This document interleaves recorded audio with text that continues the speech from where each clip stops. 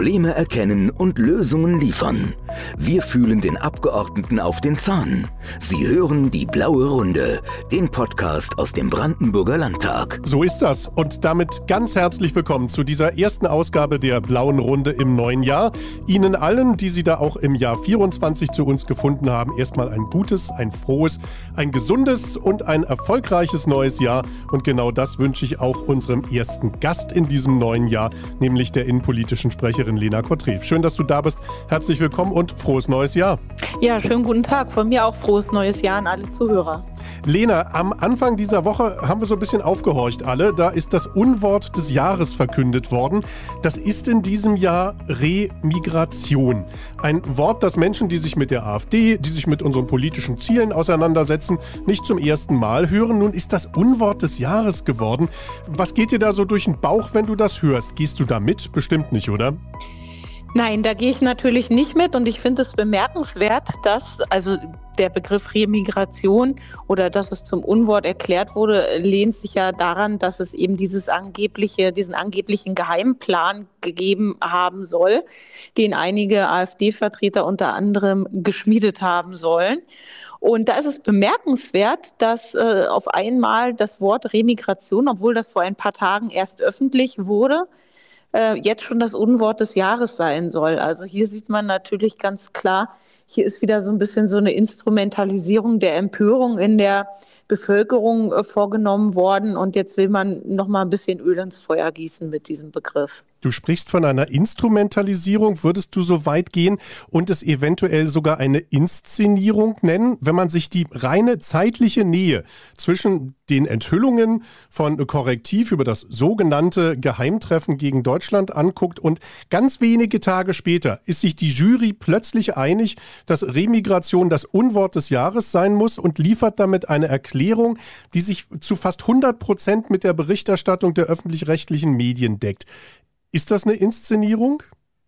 Ja, man kann das durchaus auch als Inszenierung bezeichnen. Äh, lustig ist auch, wo du gerade das Wort Inszenierung äh, nennst, dass ja auch schon bereits Theaterstücke zu diesem angeblichen Geheimplan jetzt vorbereitet werden und auch, ich meine, sogar in ganz kurzer Zeit, äh, ich, diese oder nächste Woche gespielt werden sollen in einem Berliner Theater. Und äh, ja, also man kann hier komplett von einer ganzen Inszenierung dieser kompletten Debatte ausgehen. Das heißt, da hat jemand Theaterstück geschrieben, hat das auf die Bühne gebracht und innerhalb von zwei, drei Tagen ist das fertig und kann aufgeführt werden? Nee, ganz offenbar ist das so. Also dieses angebliche äh, Geheimtreffen soll es ja im November letzten Jahres gegeben haben. Jetzt auf einmal steht ganz offenbar schon ein Drehbuch für ein Theaterstück was ja nicht nur in Berlin, sondern später auch in Potsdam aufgeführt werden soll. Also wer weiß, was dahinter steckt, aber in jedem Falle ist es ein, der Versuch, eben eine Empörungswelle in der Bevölkerung herbeizurufen und natürlich die AfD zu diskreditieren. Ich habe es eingangs schon gesagt, Lena, die Forderung nach Remigration ist ja für Menschen, die sich mit der AfD auseinandersetzen, die der AfD-Fraktion im Landtag Brandenburg bei den Debatten auch lauschen, ist ja überhaupt nichts Neues. Warum gibt es da gerade jetzt eine solche Aufregung drum? Ja, da würde ich noch mal kurz zurückgehen. Du sagst, es ist nichts Neues und ganz genau so ist das. Wir haben beispielsweise im letzten Jahr die Einsetzung eines Remigrationsbeauftragten hier im Plenum gefordert. Das soll eben jemand sein, der vom Land eingesetzt wird, um geordnete Rückführungen durchführen zu können. Und in der Debatte dazu hat sich auch kein einziger der anderen Abgeordneten über diesen Begriff tatsächlich beschwert oder hier gesagt, das sind Begrifflichkeiten, die wollen wir so nicht stehen lassen. Da wurde natürlich in der Sache hart gestritten und da gab es die üblichen Fremdenfeindlichkeits- und Rechtsextremismusvorwürfe uns gegenüber. Aber der Begriff Remigration hat damals überhaupt noch kein Aufsehen erregt. Und jetzt auf einmal soll das eben hier ein Kampfbegriff von rechts sein.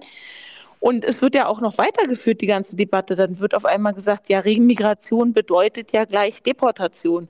Und somit hat man natürlich gleich die Brücke zum äh, Dritten Reich geschlagen, in dem ja nun mal Juden deportiert wurden. Und jetzt wird eben gesagt, die AfD möchte genau das, möchte genau dorthin zurück. Was völlig an den Haaren herbeigezogen ist und was wir natürlich auch strikt von uns weisen. Aber diese Begrifflichkeiten werden eben miteinander vermischt und so in die Debatte eingeflossen. Wenn man so ein bisschen zurückguckt, vor drei, vier Tagen war die Gleichsetzung Remigration ist gleich Deportation. Seit gestern Abend haben die öffentlich-rechtlichen Medien und auch viele Zeitungen und Privatmedien noch mal eins draufgesetzt und sagen jetzt Remigration ist gleich Massendeportation. Es reden heute, wenn man so quer durch die Medien horcht, tatsächlich alle vom Thema Massendeportation. Ist das das berühmte Framing, das wir schon so oft kritisiert haben, dass tatsächlich Begrifflichkeiten von Regierungsseite mehr oder weniger vorgegeben werden, von den öffentlich-rechtlichen Medien so lange wieder gekaut werden, bis dann auch die Bevölkerung, bis die Menschen im Land äh, über genau das Gleiche reden? Ja, das ist ganz klar so ein Framing. Und das haben wir ja jetzt in den letzten Jahren immer wieder erlebt, dass eben gerade im Hinblick auf uns ja sogenannt geframed wird. Ne, also wir hatten zunächst jetzt den Vorwurf, da wurde über Deportation gesprochen. Das war dann eben heute auch Thema in der Pressekonferenz, wo ein Medienvertreter ja erstmal behauptet hat, es wäre dort von Deportation gesprochen worden. Irgendwann hat er so ein bisschen zurückgerudert und äh, dann wurde klar, dass eben die Medien einfach diesen Begriff übernehmen. Aber das ist ein ganz infames Spiel, was da gespielt wird. Und es gibt sicherlich Leute, bei denen das verfängt, bei unseren Wählern Gott sei Dank nicht. Aber man versucht damit natürlich die Debatte zu bestimmen und die AfD in ein schlechtes Licht zu rücken. Jetzt sagen wir doch mal für alle, die diesen Podcast hören, ganz deutlich, wenn die AfD-Fraktion im Landtag Brandenburg, wenn ihre innenpolitische Sprecherin Lena Kottré von Remigration spricht, was genau verstehst du darunter? Was genau meinst du damit? Ja, in erster Linie meinen wir natürlich die konsequente Abschiebung von vollziehbar ausreisepflichtigen Personen. Das fordern wir auch immer wieder. Vollziehbar ausreisepflichtig ist eben, wer kein Recht hat, hier zu sein, wer auch schon alle Stadien des Asylverfahrens erfolglos durchlaufen hat und jetzt abzuschieben ist, ohne Wenn und Aber. Diese Leute müssen außer Landes gebracht werden. Das ist ein ganz klarer Teil der Remigration. Aber wir müssen natürlich im Zuge der Remigration auch darüber sprechen, dass wir eventuell auch Leute, die getäuscht haben bei der Einbürgerung oder gedroht haben oder auch bestochen haben oder andere Taten dort eben begangen haben, dass diese Leute ihre Einbürgerung aberkannt bekommen. Das ist im Gesetz einfach auch so vorgeschrieben. Das ist der Paragraph 35 des Staatsangehörigkeitsgesetzes. Und wir fordern da natürlich nichts anderes als die Einhaltung von Recht und Gesetz. Diesen Leuten ist die Einbürgerung wieder abzuerkennen und dann sind sie auch außer Landes zu bringen. Und das ist auch ein ganz klarer Teil der Remigration, die wir verfolgen. Also Ausbürgerung kein Kampfbegriff der AfD, sondern tatsächlich Zitat aus dem Gesetz, Paragraph 35 Staatsbürgerschaftsrecht und auch die Ausweisung von vollziehbar ausreisepflichtigen Menschen. Auch da haltet ihr euch lediglich an Recht und Gesetz, an das, was der Gesetzgeber für diese Situationen vorgesehen hat. Also daran ist nichts Verwerfliches, da ist nichts, was man ausspionieren müsste und daran ist auch nichts, was skandalisiert gehört. Nein, überhaupt nicht. Das sind einfach Dinge, die so im Gesetz stehen, die wir fordern, dass sie eben wieder durchgesetzt werden. Genauso wie wir ja auch schon immer wieder gefordert haben, dass der Artikel 16a des Grundgesetzes durchgesetzt wird. Dass man sagt, dass Leute, die aus einem sicheren Drittstaat kommen, hierher nach Deutschland und hier Asyl beantragen, dass sie eben hier kein Recht haben, diesen Asylantrag zu stellen. Und das sind Sachen, die stehen im Gesetz, die stehen teilweise in der Verfassung auch so drin die müssen einfach wieder durchgesetzt werden, diese Dinge. Ihr werdet euch vom Framing der öffentlich-rechtlichen und anderen Medien natürlich nicht beeindrucken lassen. Die AfD-Fraktion Brandenburg wird, wie sie es in der Vergangenheit bereits getan hat, sich weiter für die Remigration einsetzen. Wann wird das das nächste Mal passieren? Der Landtag tritt ja in der kommenden Woche zusammen. Werdet ihr das Thema da nochmal gleich auf die Tagesordnung setzen? Ja, wir werden in der nächsten Woche wieder zwei Initiativen zu diesem Themenkomplex haben mhm. im Plenum.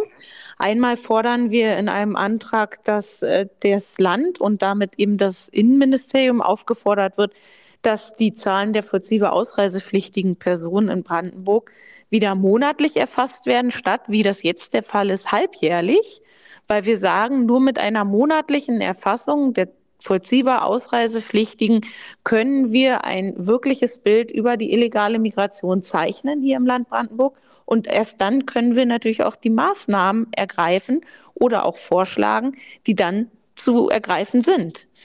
Das ist einer der Anträge und der zweite Antrag, der ist dann nochmal weitergehend, gerade im Themenbereich Remigration.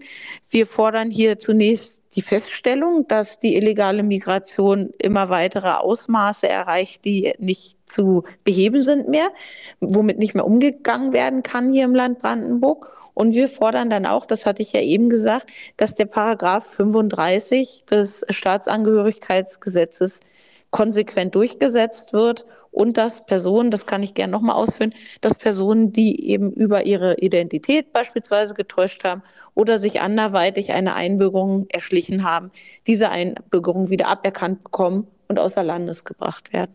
Und dass das sinnvoll, dass das richtig ist, das müsste eigentlich jedem Bürger unseres Landes definitiv einleuchten. Lena Cotre ist bei uns in dieser blauen Runde im Podcast der AfD-Fraktion. Wir reden über den großen Begriff Remigration, der in dieser Woche, der in den ersten Wochen dieses Jahres 2024 ganz besondere Bedeutung erlangt hat. Remigration hattet ihr schon immer auf der Fahne und ihr werdet damit jetzt kein Ende machen. Ihr werdet es auch weiter auf der Fahne haben, solange bis die AfD in Brandenburg in Regierungsverantwortung ist und nicht nur als Opposition fordern kann, sondern auch als Regierungspartei tatsächlich umsetzen kann? Ganz genau so werden wir das machen. Das ist ein Thema, was uns jetzt bis zum Ende der Wahlperiode beschäftigen wird, aber auch sicherlich darüber hinaus.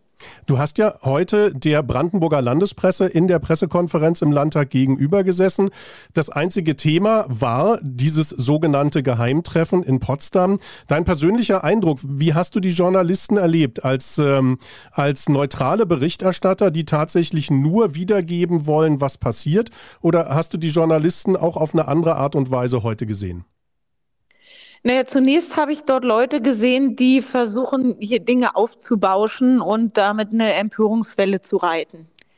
Das konnte ich zuallererst feststellen, denn im Ende ist ja gar nichts passiert bei diesem Treffen. Und es war ja auch nicht in dem Sinne ein Geheimtreffen, es war eben ein privates Treffen von verschiedenen Personen, die auch aus dem AfD-Umfeld kommen. Das ist ja nun kein Geheimnis und es wurden dort auch keine geheimen Dinge besprochen, sondern, das habe ich ja auch ganz klar gesagt, Dinge, die wir schon lange ganz öffentlich fordern und die auch überall einsehbar sind, beispielsweise auf unseren Internetseiten oder mhm. in den sozialen Medien. Und äh, dass man da versucht, eben da angebliche Deportationspläne oder ähnliches draus zu machen. Wie gesagt, das ist infam. Das ist äh, ein Aufbauschen von Dingen, die eigentlich gar nicht gesagt wurden. Und das ist nichts anderes als äh, der Versuch, die AfD hier zu diskreditieren. Man kennt unsere neuesten Umfragewerte und jetzt wird eben versucht, irgendwie Stimmung zu machen gegen uns. Da sind auf diesem Gelände etliche Kameras installiert worden. Da sind beim Personal Leute von diesem Korrektiv eingeschleust worden. Es soll sogar Boote gegeben haben, die auf dem, auf dem Wasser plätschernd mehr oder weniger mit Richtmikrofonen versucht haben, die Gespräche im Raum abzuhören. Die Journalisten heute in der Landespresse Pressekonferenz, haben gesagt, es gibt einen Pressekodex und wir gehen ganz stark davon aus, dass Korrektiv sich an diesen Pressekodex gehalten hat. Ich habe ihn jetzt nicht vor Augen, aber mein Bauchgefühl sagt mir, das Ausspionieren privater Treffen deckt sich nicht mit dem Pressekodex. Siehst du das ähnlich? Das sehe ich ganz ähnlich. Und auch die Pressefreiheit, wie sie ja grundgesetzlich verankert ist, hat natürlich irgendwo auch ihre Grenzen. Und wenn man jetzt private Treffen von einzelnen Personen ausspäht, wenn man vorher Räume verwanzt, wenn man sich mit Richtmikrofon auf dem Wasser vor dem Grundstück befindet, wenn man durch die Fenster durchfilmt, dann kann das nicht mehr vom Pressekodex äh, gedeckt sein. Dann kann man das auch nicht mit dem Wort investigativ erklären, wie das ja so gerne gemacht wird. Dann ist das einfach nur verwerflich. Und dann sind das Dinge, die an frühere Zeiten erinnern. Und da muss man ganz klar sagen, Dr. Christoph Berndt, unser Fraktionsvorsitzende, hat das Wort Bespitzelung in den Mund genommen und damit hat er völlig recht. Das ist eine Bespitzelung. Korrektiv finanziert sich auf welche Art und Weise? Da braucht man ja Geld für. Also wenn man, wenn man so mit geheimdienstlichen Mitteln gegen ein privates Treffen vorgeht, das finanziert man ja nicht einfach so aus der Portokasse. Wo kommt das Geld her? Also ich habe mich jetzt noch nicht im Einzelnen mit der Finanzierung von Korrektiv äh, beschäftigt. Es wird immer wieder gesagt, dass Korrektiv auch staatlich finanziert ist. Mhm. Und das halte ich durchaus für möglich und auch für sehr wahrscheinlich, weil gerade diese ganzen Initiativen, die es sich zum Ziel gemacht haben, die AfD zu diffamieren, ja dann am Ende staatlich finanziert sind. Das würde mich also da nicht überraschen. Wir haben über Remigration geredet, darüber, wie die öffentlich-rechtlichen und andere Medien versuchen, diesen Begriff umzudeuten, umzuframen, äh, damit aus dem, was im Grunde genommen nur heißt, wir müssen uns an Recht und Gesetz halten, plötzlich was ganz schlimm, fürchterlich Verwerfliches wird. Wir haben darüber geredet mit Lena Cotré, der innenpolitischen Sprecherin unserer Fraktion, der wir sehr danken für diese Einblicke nach der doch bemerkenswerten Pressekonferenz heute im Landtag Brandenburg. Lena, danke, dass du noch für uns Zeit hattest. Ja, sehr gerne. Und das war diese blaue Runde. Das Thema Remigration wird uns in dieser Woche erhalten bleiben. Wir reden darüber auf jeden Fall noch mit dem Fraktionsvorsitzenden Dr. Christoph Berndt in zwei, drei Tagen, wenn die nächste Ausgabe der blauen Runde da ist. Herzlichen Dank, dass Sie dabei waren. Danke für Ihr Interesse und bis zum nächsten Mal. Wiederschauen. Die blaue Runde. Wir informieren Brandenburg. Aktuell. Sofort abonnieren und keine Folge verpassen.